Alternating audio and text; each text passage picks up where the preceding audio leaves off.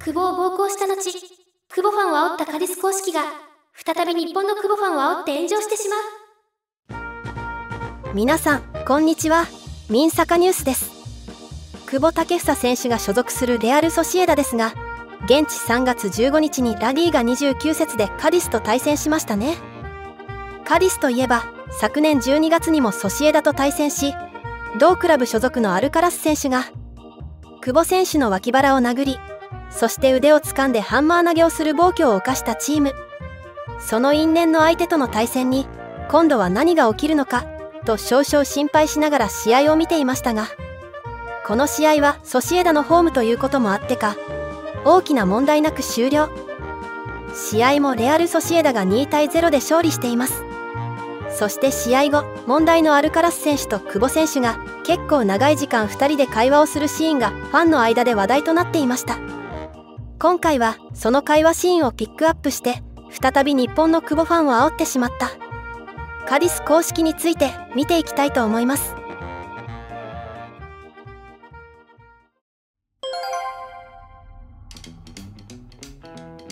記事はサッカーダイジェストから。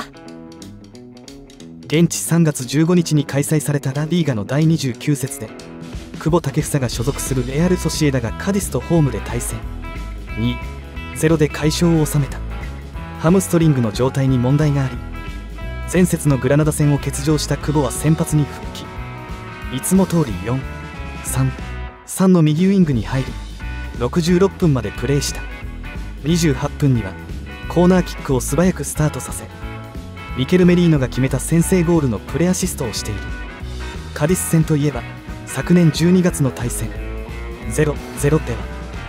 久保が敵ミッドフィルダールベン・アラカラスに脇腹へパンチを浴び格闘技のようなラフプレーも受けて物議を醸した。カディスの日本語版公式 X は今回の試合後その因縁のアラカラスと久保が会話をする動画を公開。昨日の試合でルベンと久保が話しました。カディスと日本の関係はサッカーを通じて深まり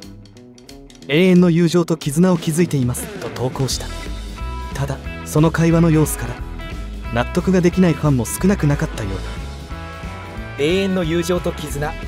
謝罪が先でしょ。謝ってるようには見えないけどねわら申し訳ないですけどこの4番のしたことと非公式アカウントの失礼な煽りは許せないです。素直に謝罪でもしたのなら友情も生まれるかもしれないがこれはどう見ても言い訳じみたことを言っているのだろう。ルベンは試合に出る資格なし。久保が大人なだけだよでかい子供に謝らせろ。まずあのプレーはどうにかした方がいい。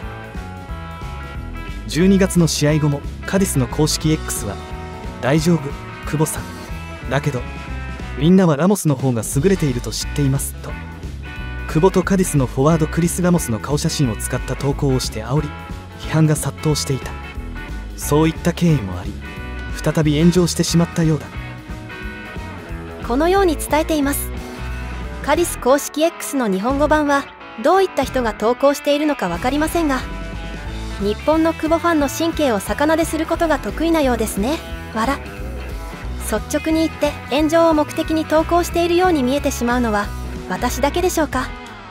カディス・アルカラス選手が久保選手と2人で話をしている様子を見るととても友情の絆を築いているようには見えずアルカラス選手が前回の対戦の際に起きた事件について何かを主張言い訳しているか要望しているかそんな様子に見えます。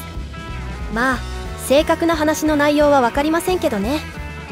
もちろん2人が直接話をすることは悪いことではないのかな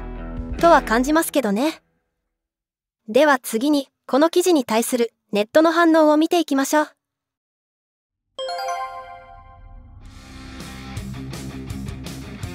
明らかに必死に言い訳してるようにしか見えんな。竹も心地よい表情はしてない。久保くんの腕持ってくるくる回してプレー妨害させるってもうサッカーではないじゃん。つうかこういうことやってくる選手って選手じゃないし明らかな暴力行為だよね。引っ張るだけならよくあることだけど2回も引っ張り回してるのとか恋以外の何者でもない悪質なのにイエローっていうのが。悪意むき出しの暴力を見るたびにイライラは募る。スペインだけに余計謝らない感じ全てはサッカーのルール通りに審判が反則を取らないのが悪い。FIFA の怠慢と管理能力なしなのかなと。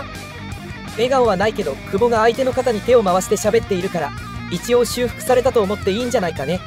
言い訳だとしても言い訳すらしてこないやつに比べれば100倍マシ。公式に謝罪しない限り信ずることは不可能。言い訳しているようにしか見えない。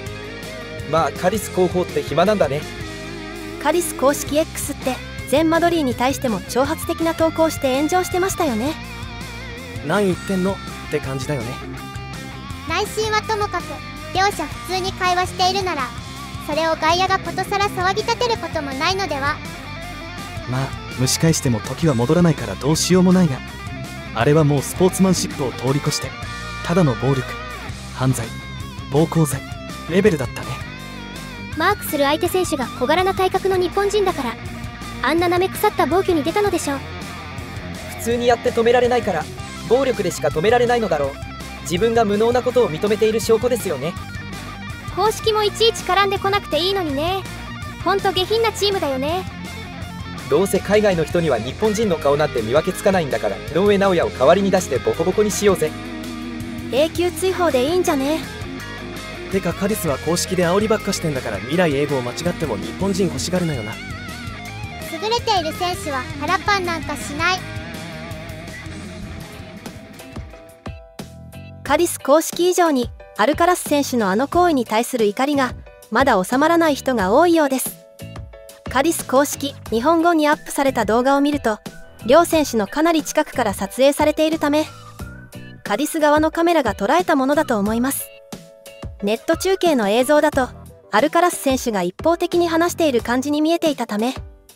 公式の動画で改めて確認すると久保選手も思っていた以上に応答したり話したりしているなと感じました。冷静に相手の肩に腕をかけながら話しかけ。なかなか貫禄あるなそう感じたのは私のひいき目なのかもしれないですね。いずれにしても今後アルカラス選手にはもう少し冷静にプレーしてもらいたいところです。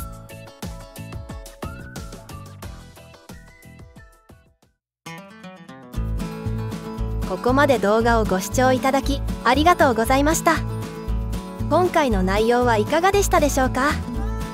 もしよろしければチャンネル登録と高評価ボタンを押していただけると